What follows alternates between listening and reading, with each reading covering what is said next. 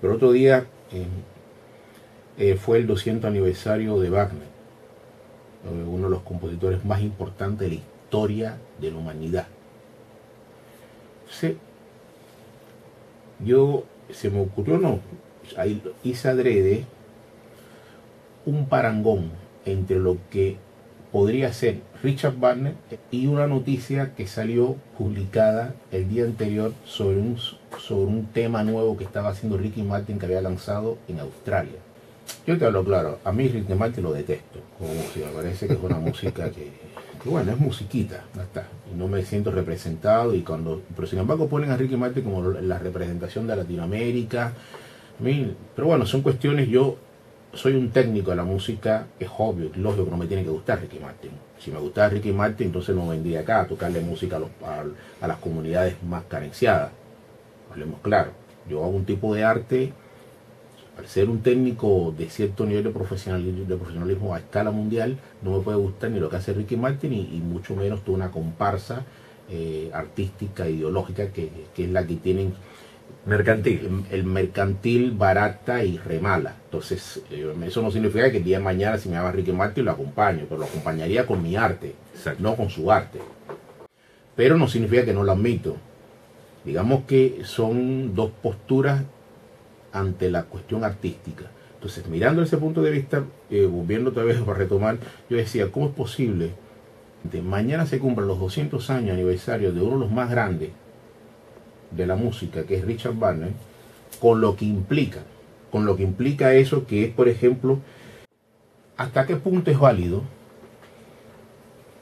dejar de escuchar Wagner, por ejemplo, en Israel.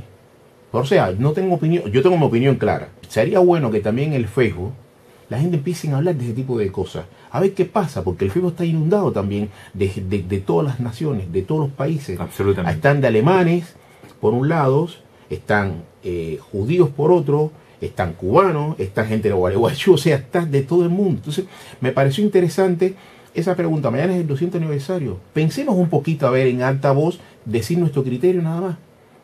¿Es válido o no escuchar a Wagner en Israel? Pero qué interesante noticia, también tenemos que en el otro polo opuesto tenemos a Ricky Martin anunciando que va a sacar una nueva canción. Yo decía, no se había ido para la India. Descansamos de ti tres años. Sigue tu periplo por allá, hermano. Prefiero mejor escuchar a Wagner que escuchar un tema, el nuevo tema de, de, de Ricky Martin. Entonces, como era RM, yo puse RW. Entonces, o sea, yo lo que hice fue enfrentar dos noticias a ver cómo captaba, cómo se captaba, no sé qué se generaba. Ricky Martin hablando de lo suyo, bueno, imagínate qué importancia para la cultura mundial. Un nuevo, una, un nuevo tema de Ricky Martin que, que, ni tan siquiera llega a ser un CD nuevo, sino un tema que le está lanzando. Y mañana el 200 aniversario de un tipo que engendró tantas preocupaciones en, en alrededor de casi, a ver, no sé, 20 millones de personas. O sea, estamos hablando de 4 millones que, que, que viven en Israel más unos cuantos millones que viven fuera de Israel y más y una y no sé cuántos alemanes tiene Alemania. Inmenso. O sea, 30 millones 40 millones. Me parece que era interesante eh, una claro textura sí. de discusión muy claro interesante que sí. que eh, bueno hay un concepto. Nadie puede amar lo que no conoce. Claro. Y entonces a partir de eso eh, indudablemente que lo que estás planteando hay una cuestión. Uno necesita de una, mago, una mano amiga, y me haces acordar, Luis, a la literatura, pasa a mí en una experiencia personal. Es decir, uno a tientas está buscando, por ejemplo, ahora, por, mirá lo que son la, las cosas. Trabajosamente, etcétera.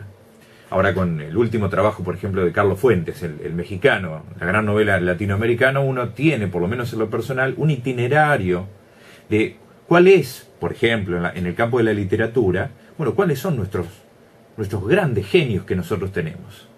Vos sabés que es la primera vez que yo me encuentro con esos autores. Y mira que uno ha pasado por el, el, el, preescolar, la primaria, la secundaria y la universidad. Y nunca había escuchado hablar de esos autores.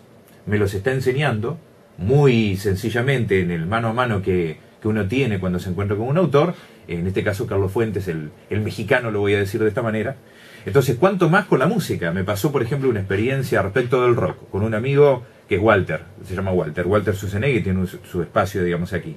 En el campo del rock, por ejemplo, él me llevó de la mano y me dijo, mirá, digamos, grandes solistas acá, grandes bandas acá, mirá la estructura de acá, mirá tal cosa, tal otra.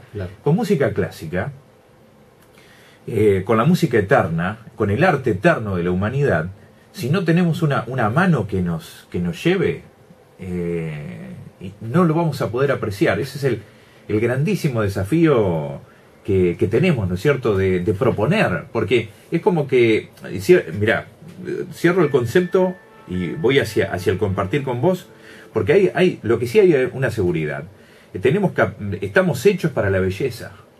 Entonces lo bello, eh, al, ser, al ser esencialmente eso, algo va a pasar, pero yo para apreciarlo, digamos, necesito de una mano amiga que con ternura, con paciencia, con sabiduría, comprendiendo que, quizás, bueno, para cuáles son las puertas de acceso a un autor como, como Wagner, por ejemplo, eh, y después profundizar la relación con, el autor. Pero, viste, están cortados los puentes. En realidad no es que esté cortado el puente, hay, hay cosas que van, se van cortando solas. Esto tiene una situación que es peculiar. Una, no se le puede sacar el valor de los medios, por un lado, y el valor del Estado, por otro porque son los únicos que tienen escala global y el alcance mucho más grande que lo que uno puede o no hacer por su gestión propia. Entonces, cuando yo planteaba todo esto, de qué interesante estas dos mezclas de noticias, ¿no? que estaban a escala mundial, es lo mismo que me, que, que me hace a mí pensar, decir, bueno, yo vengo a Gualeguaychú. Si a mí no me pagan 30 mil pesos por hacer un concierto, el Estado. Entonces, el Estado tiene que empezar a valorar en qué le puede ser útil un artista como yo en una ciudad como Gualeguaychú. Y ahí es donde viene la parte donde se necesita coraje para decir, bueno, ¿cuál es la problemática que existe? Bueno, vamos hacia, un, hacia una zona de la sociedad que no voy a decir que no tiene acceso, no tiene las posibilidades, bien por desconocimiento, bien porque el Estado no le ha imprimido la fuerza necesaria para que no tengan esas carencias artísticas. Y no con ello está digo en escala global mundial.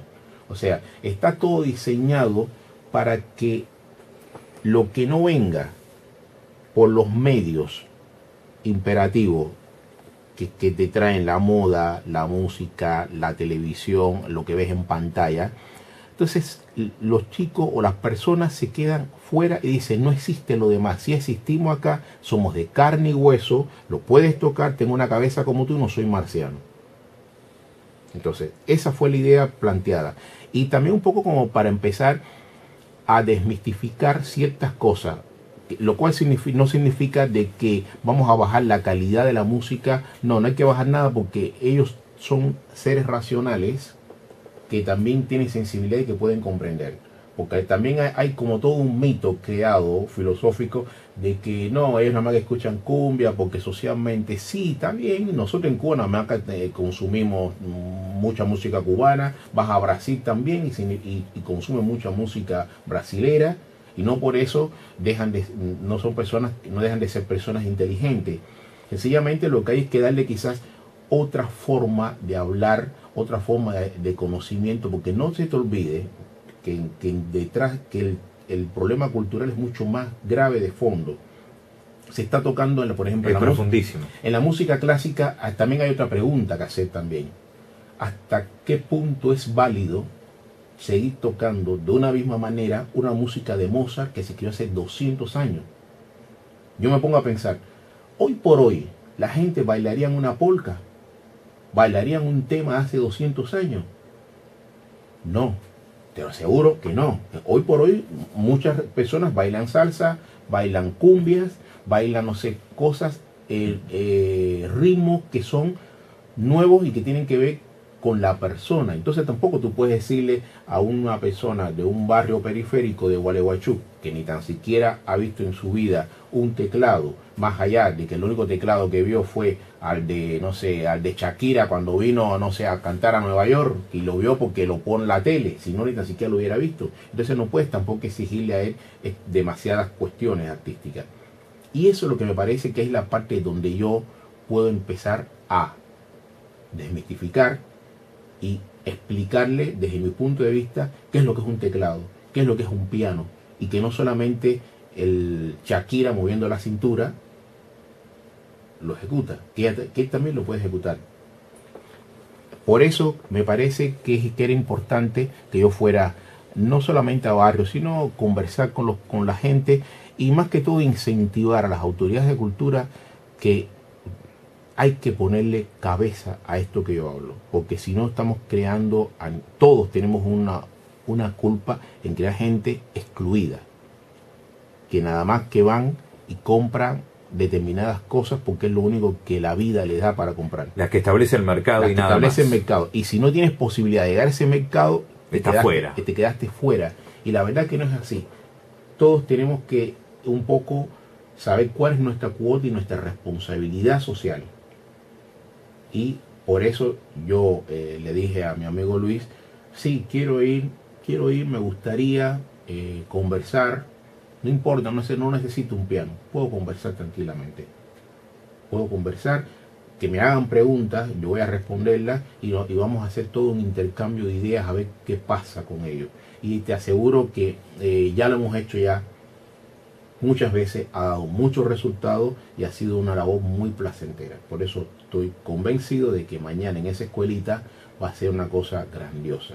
A las 11 de la mañana, en Madres Cuidadoras, eh, en nuestros barrios del oeste. Ya seguimos, vamos a hacer la pausa de, de, esta hora y seguimos un ratito más con nuestro hermano, me tomo este, pero con mucho respeto, Luis, Luis Lu.